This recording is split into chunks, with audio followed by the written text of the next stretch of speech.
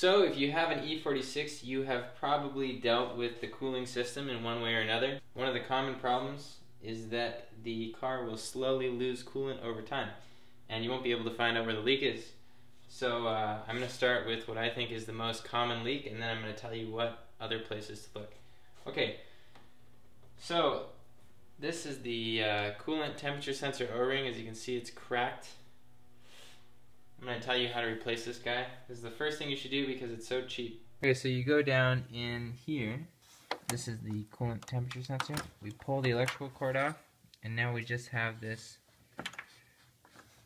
temp sensor right there. But we don't want to do it yet. We want to go over to our coolant cap and let some air into the system. Okay, now tighten that back up or you're going to leak coolant on the ground. Now we can go in here and pull this temp sensor out. As you can see, to get it out, it's just these two clips. Push them in. That's my new O-ring. It's already on there. The old O-ring is uh, right here. And here's the part number.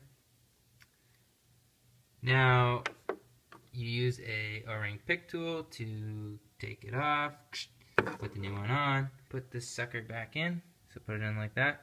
You can see that it slides into the Slides right in down there. So we're gonna go ahead and put it in. Okay, you can you can feel it clip in, and that's it.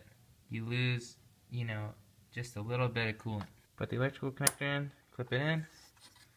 Okay, it's clipped in. Now, go over here, check our coolant level. See, we didn't really lose anything, so we're good. We're gonna go ahead and leave that.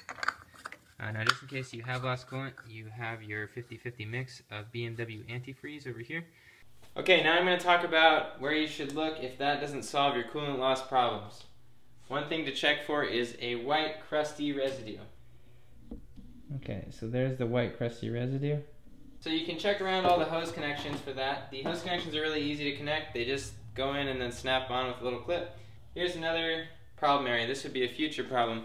This hose was getting power steering fluid dripped on it. So as you can see, it's ballooning out at the connection. So I replaced that before it became a problem. The water pump has a bunch of shaft play in it. And also another thing is that the stock water pump pulley is made out of plastic.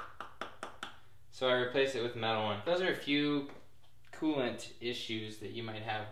That's pretty much it. Enjoy your car.